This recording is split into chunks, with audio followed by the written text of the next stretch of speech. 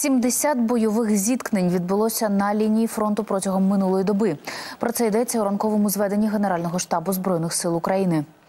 Речник генштабу Андрій Ковальов зараз на прямому зв'язку з нашою студією і готовий розповісти більше.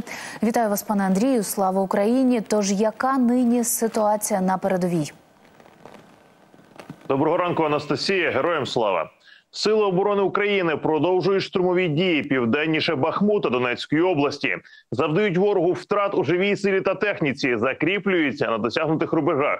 На Бахмутському напрямку ворог вів штурмові дії в районах Кліщіївки, Андріївки та східніше південного Донецької області, де українські воїни відбили 20 атак противника. На Мелітопольському напрямку сили оборони продовжують наступальну операцію, завдають окупаційним військам втрат у живій силі та техніці виснажують ворога. Противник вів безуспішні штурмові дії в районах Роботиного та північно-західніше Вербового Запорізької області.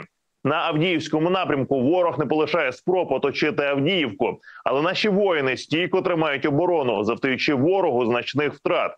Безуспішними були наступальні дії противника в районах східніше Новобахмутівки, Степового Авдіївки та Первомайського Донецької області де підрозділами Сил оборони України було відбито 10 атак противника. На Мар'їнському напрямку ворог вів безуспішні штурмові дії в районах Мар'їнки, Побєди та Новомихайлівки Донецької області, де підрозділами Сил оборони України відбито 12 атак. На шахтарському напрямку ворог вів безуспішні штурмові дії в районах Старомайорського Донецької області, де українські воїни відбили дві атаки. На Куп'янському напрямку ворог вів штурмові дії в районах Синьківки, та східніше Петропавлівки Харківської області, де підрозділами Сил оборони України відбито 10 атак противника.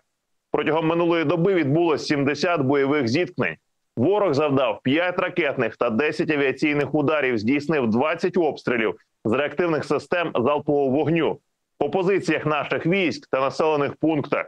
Наслідок російських терористичних атак, на жаль, є загиблі та поранені серед цивільного населення, руйнувань та пошкоджень зазнали приватні житлові будинки та інша цивільна інфраструктура.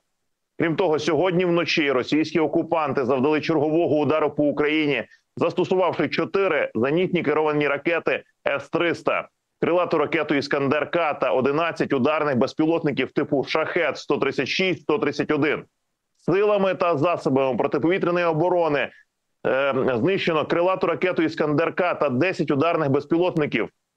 Руйнувань та пошкоджень зазнала будівля центральної міської лікарні у місті Селідово Донецької області, будівля шахти Котляревська та інша цивільна інфраструктура.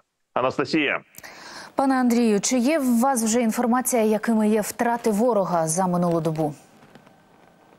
Анастасія за добу, що минула, сили оборони України вразили два райони зосередження особового складу, озброєння та військової техніки російських окупантів, а також один склад боєприпасів.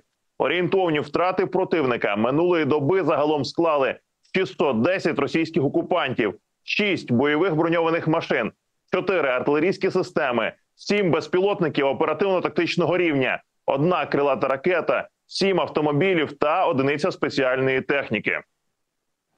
Пане Андрію, чи є у вас новини з тимчасово окупованих територій? Так, Анастасія. До Мілового, що у тимчасово окупованій Луганській області, прибув підрозділ російських карателів з Росгвардії та співробітники поліції з Московської області.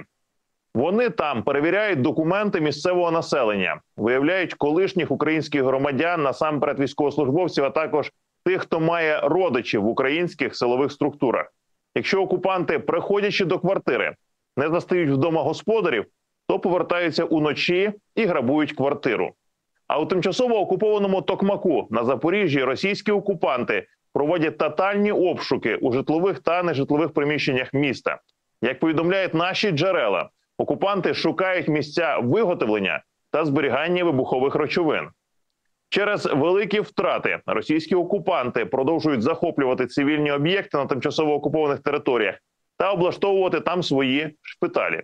Відтак у Брилівці, що на Херсонщині, у головному офісі колишнього місцевого елеватора, російські окупанти облаштували польовий шпиталь, у якому зараз проходять лікування до 50 поранених російських терористів. Вірте у збройні сили України! Ми переможемо! Слава Україні! Героям слава неодмінно переможемо. Дякую. Це був Андрій Ковальов, речник Генерального штабу збройних сил України.